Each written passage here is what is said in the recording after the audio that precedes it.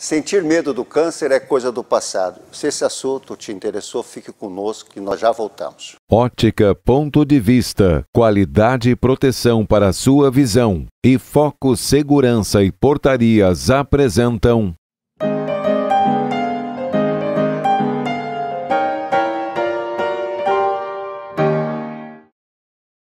Médica graduada pela Universidade Federal do Estado do Rio Grande do Sul, residência em oncologia pela PUC-RS e uma coisa muito interessante, foi tenente do Exército Brasileiro como médica oncologista. A convidada de hoje é a doutora Daniela Lessa. Doutora Daniela, seja muito bem-vindo para o programa Negócio.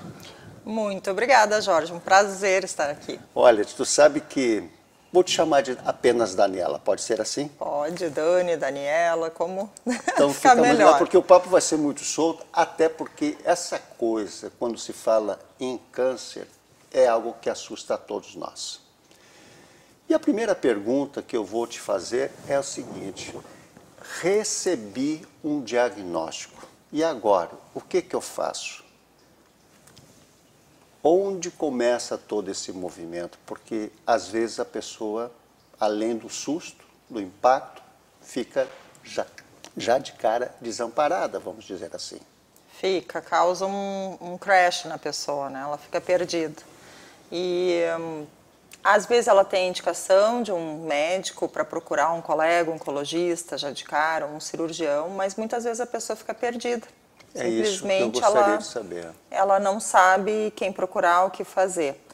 E o oncologista clínico é o médico que vai poder ajudá-la a orientar o tratamento dela, a direcionar. Porque existe o oncologista clínico, que são profissionais como eu, que fizeram uma residência na parte clínica da oncologia, do conhecimento do câncer, fazem a quimioterapia, indicam os outros tratamentos. Existe o médico radioterapeuta, que faz a radioterapia, muita gente não sabe que o radioterapeuta é um médico. Acham que é um, um, um outro profissional da saúde não formado na área médica. E existe o cirurgião oncológico, que muitas vezes é a porta de entrada do paciente também. Claro. Mas são especialidades que se complementam e que a porta de início do, da avaliação do planejamento do tratamento do câncer é com o oncologista clínico. Pois olha, Daniela, isso que eu queria saber, tipo, porque essa tua, essa tua percepção ou essa tua uh, colocação, ela se dá porque tu percebe isso, hein, que as pessoas Sim, as pessoas. É, é, muito comum. A cirurgia foi o primeiro tratamento do câncer, né, difundido. E as pessoas têm muito em si assim uma, uma dicotomia. Eu preciso operar, eu preciso tirar uh, esse bicho possível. de mim o mais rápido possível. Uh, e por outro lado, elas pensam: se não dá para operar, é terrível.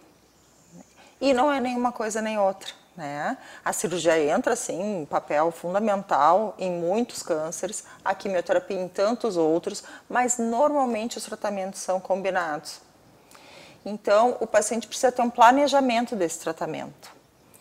Quando ele, uh, numa, num imediatismo, numa situação mais premente, que ele está com a emoção, com o medo, ele, ele toma decisões, às vezes, de imediatamente operar, sem pensar que, às vezes, ele poderia fazer um tratamento antes para preservar um órgão, para se te... preparar para um tratamento. E posso te fazer uma pergunta, Cinti, e às vezes é, pode ser operado as, por um cirurgião, com devido respeito, que não está não tá clinicamente preparado para aquele tipo de, de, de, Exatamente. A gente tem inúmeras situações em que o paciente acaba fazendo o diagnóstico de câncer, suspeitando uma emergência, né? Ou num consultório de um médico não especialista, a maioria das vezes é. E às vezes ele precisa fazer uma cirurgia de urgência, por exemplo, e ela acaba sendo, durante a cirurgia se observa que, na verdade, é uma cirurgia oncológica que deve ser feita. Ou não, ou ele pode fazer um tratamento, às vezes numa cidade que não tem o recurso de um profissional experiente e acabar fazendo um tratamento e às vezes nem sabe que tem que ir adiante. Então ele, ele perde oportunidades de tratamento preciosas, porque o primeiro tratamento, os primeiros tratamentos são os, os mais impactantes, normalmente, no, no prognóstico do câncer, ele perde aquelas oportunidades e depois, às vezes, fica um pouco mais difícil da gente reaver. Mas que coisa, hein? inclusive, isso é uma coisa que tu vê no teu dia a dia, então. No dia a dia. Dia a dia. E aí, ah, eu imagino quando tu consegue receber e detectar isso que está acontecendo e poder reverter isso, primeiramente da forma emocional, né? Sim. Porque eu acho que a pessoa se sente um pouco, como tu bem disseste, fica desamparada e encontra alguém que pode dar esse rumo. Mas é, eu queria muito poder falar com isso de uma maneira muito descontraída, porque essa é a ideia mesmo, né, Daniela? E me conta, assim, sobre essas coisas do câncer. Quando a gente fala coisa do passado, tu bem disseste há pouco para mim que não é uma coisa tão assim. Mas se a gente parte de um tratamento precoce de um, de um exame inicial, tudo tem chance de ser revertido. Ah, muito mais, com certeza, né? Uh, quanto mais precoce um diagnóstico, melhor para o paciente. Tratamentos menos invasivos, maior chance de cura. Mas mesmo hoje em dia, mesmo quando não é um, uma doença inicial, mesmo na doença avançada, a gente consegue reverter muitos casos, Como inclusive com assim? cura. Por exemplo, uh, existem inúmeros tratamentos hoje em dia que, por exemplo, a imunoterapia, uh, tratamentos combinados, que mesmo num paciente que chega com uma metástase, ou seja, com uma lesão já à distância, avançada, ou várias lesões, ele consegue regredir todas essas lesões com o tratamento e conviver sem a doença por vários anos. Então a gente está cogitando, inclusive, que esses pacientes possivelmente estão curados da doença. É mesmo? Com o próprio, com uma medicação que destrava o sistema imunológico e permite que ele lute contra o câncer. Esse é um dos tratamentos novos, né? Isso foi, eh, eu me parece que eu até estive assistindo que tu fizeste, tu estavas nesse congresso, tu e, e o doutor Fabiano, né, nesse congresso. Sim. Gostaria que tu falasse um pouco, porque ali realmente foi colocado algumas coisas muito interessantes desses avanços, né? Muito interessantes, porque a gente vem observando uh, há alguns anos uh, o surgimento da imunoterapia nova, né, moderna no câncer. Ela é um conceito já um pouco antigo, mas foi um pouco abandonado. Às vezes, uma ideia muito nova num momento ali que uh, não acaba não dando frutos naquele momento. Claro, Leva claro. 100 anos, às vezes, para a gente perceber a importância de um conceito, né? Então, o que, que a gente observou nesse congresso? Foi o Congresso Europeu de Oncologia, o maior congresso de Oncologia Clínica da Europa. Então, um congresso muito impactante, muito bacana. Foi muito bom a gente estar de novo com os colegas ao vivo, né? Respirar, né? Uhum, assistir as palestras ao vivo, é muito, é muito gostoso. E uh, uma das situações realmente que, que, que são impactantes é quando um paciente sem nenhum tratamento tradicional do câncer, sem cirurgia, sem quimioterapia, sem radioterapia, faz um tratamento com a imunoterapia e o câncer desaparece sem, sem cirurgia, sem rádio, sem quimio. E existe, por exemplo, esses, esses tratamentos, existe assim, porque são tudo fonte de pesquisa, são trabalhos que vão sendo aplicados, mas em alguns tipos de câncer especificamente, ou tu consegue colocar todos eles? Eles começaram com os cânceres que são mais sensíveis a esse tipo de abordagem, né, como os melanomas. Mas hoje, um, um tumor que era essencialmente resistente a esse tipo de abordagem, que é o, tumor, é o câncer de intestino, é a abordagem que mais está sendo uh, propagada nesse sentido.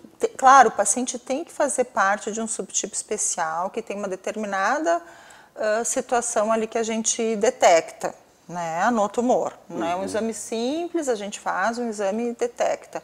Esse subgrupo de pacientes com a medicação correta, 100% deles em remissão completa. Então, assim, é muito impressionante. É, e, e, tu ficaste impressionado, então? Muito impressionado, ficou muito, fica muito feliz de ver. A gente está vendo o surgimento de novas classes de drogas, ou seja, os mecanismos já são completamente diferentes. Então, é a mesma coisa que a gente vê assim, ah, surgiu a aspirina, o, o, amigo da aspirina, o primo da aspirina, não. Daí agora surgiu um, um, outro tratamento completamente diferente da aspirina, mas que age também tratando, né? Então, a gente está vendo coisas novas de fato, a gente está vendo procedimentos novos para tumores cerebrais, eh, muita tecnologia. Foi, é muito bacana de, de ver como está mudando. Esse congresso, inclusive, ele, ele também a indústria farmacêutica também participa? Participa pesadamente, né?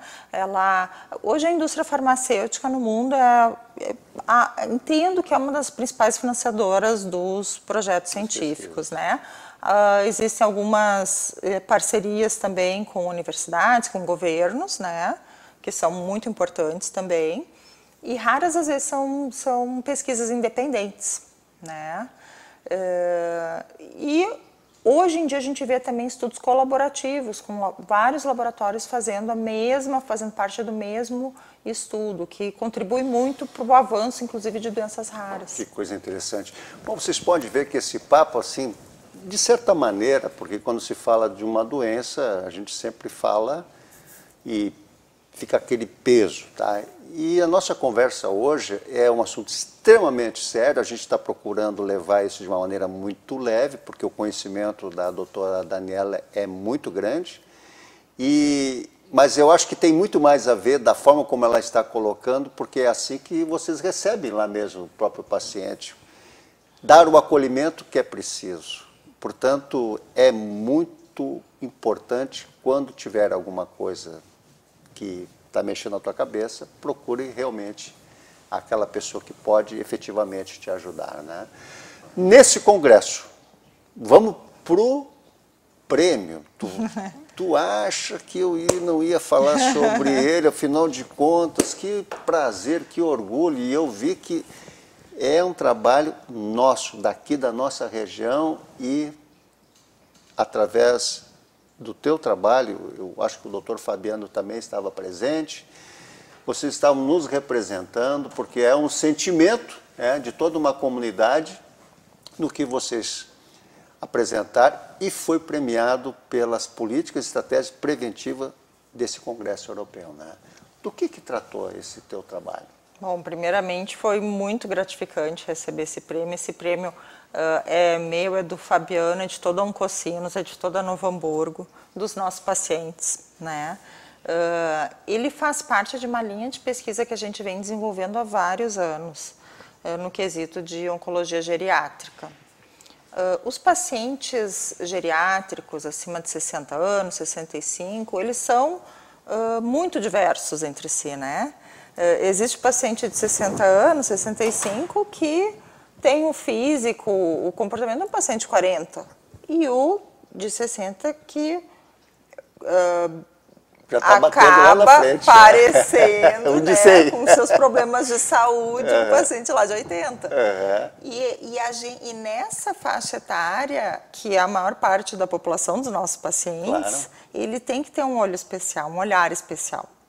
Porque se a gente simplesmente fizer o mesmo tratamento para todos, a gente vai ter uma chance de estar super tratando, tratando demais uma parte, excessivamente, toxicidade excessiva, né?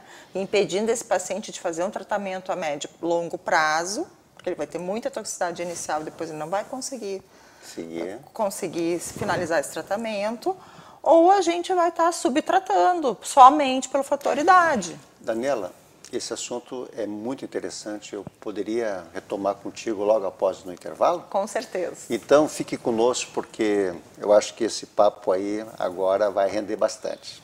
Até logo mais.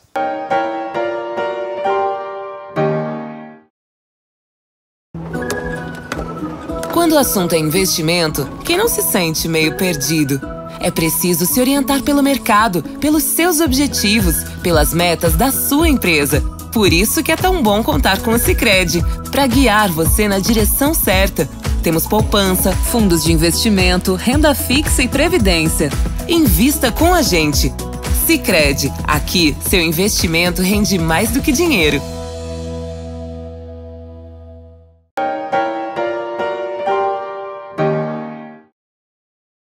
Voltando para o programa É Negócio dessa terça-feira, tendo como convidada a doutora Daniela Lessa, médica oncologista, aqui da nossa Oncocinos, Novo Hamburgo, que atende toda a nossa região, e nós estamos falando justamente sobre o trabalho premiado dentro desse Congresso Europeu.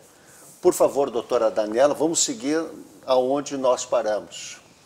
Então, do que, que se tratava o trabalho em si, Exatamente. né? Exatamente. É. esse trabalho, então, a gente avaliou. A gente tem uma, tinha uma população de pacientes, que eram os nossos pacientes de consultório, pacientes privados, de convênio, e uma população dos pacientes SUS atendidos no Regina até o ano de 2022 corrente. Né? Atualmente já não, não são mais atendidos ali no Regina. Mas a gente acompanha, acompanhou esses pacientes por cerca de dois anos, fazendo testes geriátricos de uh, screening, ou seja, de triagem, para a gente tentar identificar uh, que possíveis problemas eles poderiam ter que não sejam aparentes assim numa avaliação mais superficial clínica, né? Para tentar de detectar alterações nesses pacientes que a gente pudesse intervir, ajudá-los. Claro. E, que, e a gente pensou, será que a população do SUS e privado convênio vai se comportar da mesma maneira? Será que eles teriam os mesmos dificuldades ou facilidades, enfim, as mesmas fragilidades uma população a outra? Os mesmos tratamentos? E, e, eventualmente deveriam receber os mesmos tratamentos? Claro. Ou será que a gente não teria que modular para um lado ou para o outro, dependendo da característica dessa população, né? Uh, o que, que ocorre então? A gente tem a avaliação geriátrica é, uma, é um batalhão de exames no, no geral e ela não é incorporada na maioria dos lugares porque ela demanda muito tempo e muito esforço. Então a gente existem avaliações nas quais a gente desenvolveu uma avaliação pragmática, onde a gente avalia somente cinco domínios, é um teste mais rápido, a enfermeira aplica junto com o paciente e a gente já tem vários resultados prévios. Não é a nossa primeira premiação, a gente foi premiado ah, também mas eu no não passado. sabia. Uau! Uhum. Então tu já foi para lá pensando o seguinte, olha que eu estou chegando, hein? E, hum, e, e, ocorreu que a gente fez para o SUS, a gente adaptou mais um pouquinho. A gente fez uma avaliação hiperpragmática, como nós chamamos, com dois domínios, só para a gente poder dar um atendimento mais ágil para o paciente. E a gente observou que sim, que tem uma diferença. E, infelizmente, tem uma diferença né, entre o paciente que vinha no SUS e o paciente que vinha no convênio, no quesito cognitivo ali, de triagem cognitiva, para a gente tentar detectar alguma, algum déficit, e no quesito uh, de marcha, né, que tem um teste de quatro metros que o paciente caminha e a gente conta o tempo. E isso é um preditor, inclusive, de como que esse paciente vai uh, lidar com o tratamento, das entendi. toxicidades. Essa marcha, eu não entendi. O que, que é isso? Você coloca 4 metros no chão, é... um ponto de início e um ponto é... de fim. E é pede para o paciente caminhar uh, num, no seu passo normal, né? E conta quanto tempo ele leva para chegar nesses 4 metros. E aí? E aí, se ele pode ser classificado como um paciente frágil, pré-frágil ou fit. Se ele caminha bem com desenvoltura, ele é fit, ele tem muito mais chance de receber um tratamento e não ter um excesso de toxicidades com ele. Mas que loucura isso. Quando ele é um pouquinho mais lento, ele tem uma dificuldade de mobilidade, a gente já tem que ter bastante cuidado com esse paciente. Às vezes a gente tem que melhorar a nutrição, ou fazer fisioterapia, ou pegar mais leve no tratamento dele inicialmente, não começar com uma dose cheia.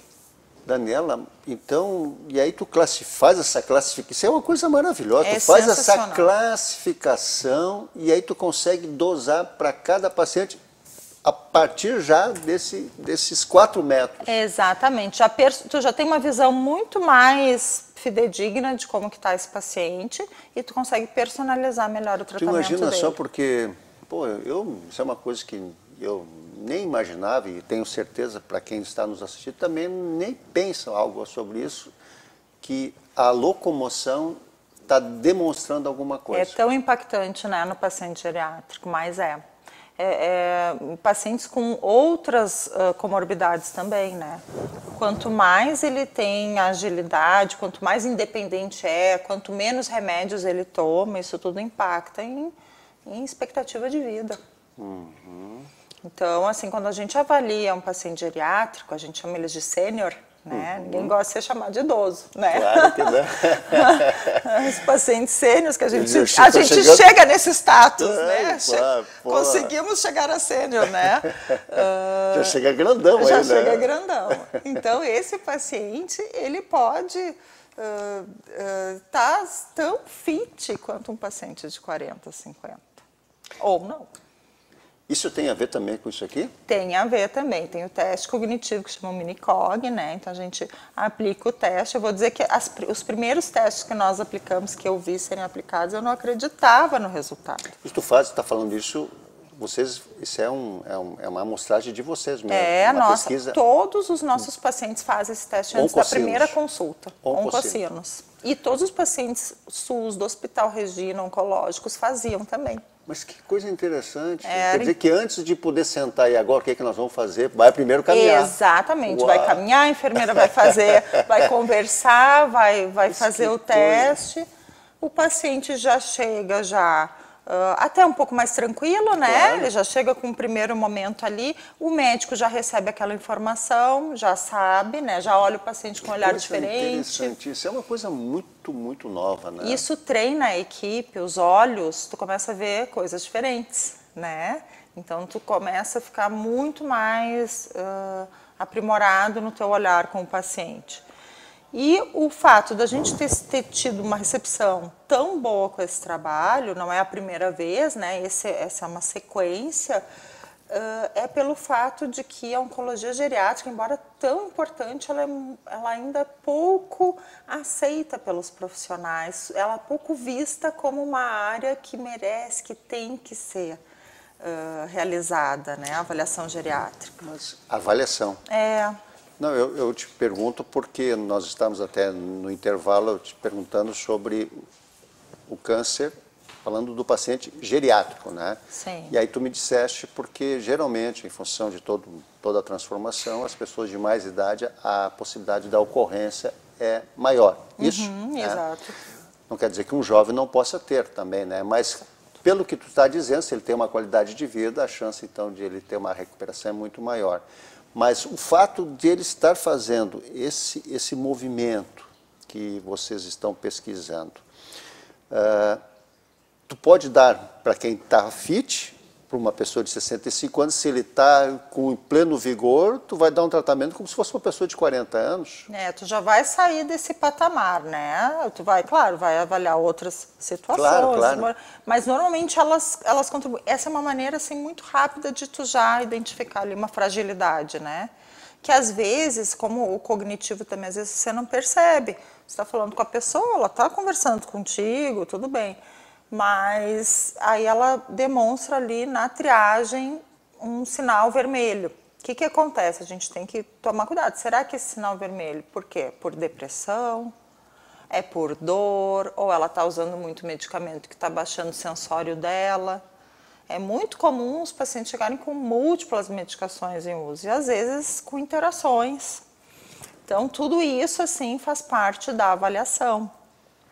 E ah, durante o trabalho, o, o, primeiro, a primeira pessoa que se aproximou do pôster, né, porque nós levamos dois pôsteres. Esse pôster, que era de minha primeira autoria e do Dr. Fabiano, o outro era o Dr. Fabiano e eu era segundo autor, então, né, por, por essa razão claro. está o meu nome, né, mas é um trabalho da equipe, Oncocinos. Uh, ele se aproximou e, e eu observei, eu entendi que ele era um avaliador. Uh, o Dr. Fabiano começou a mostrar, a gente tem um site também que chama OncoSenior, no qual essa plataforma, essa avaliação, ela é disponível para qualquer médico utilizar e fazer na sua clínica, nos é seus mesmo? pacientes. Olha ela é aberta. Só, que coisa interessante. Ela é aberta. Ela exige um treinamento, mas ali tem até o vídeo de como que deve proceder o treinamento. A gente mostrou para ele, a gente mostrou como que a gente está incorporando, ele pediu mais informações sobre o trabalho, a gente foi dando. E aí ele disse, eu sou presidente da, da Associação uh, de Oncologia Geriátrica Não. Internacional, da Sociedade de Oncologia Geriátrica Internacional. Aí nós ficamos um pouquinho nervosos. Não era só apenas um avaliador. Apenas um avaliador, mas ficamos muito felizes e, e esperançosos. E aí, de fato, uh, terminou o congresso, a gente Naquele momento não, não, não teve mais notícias.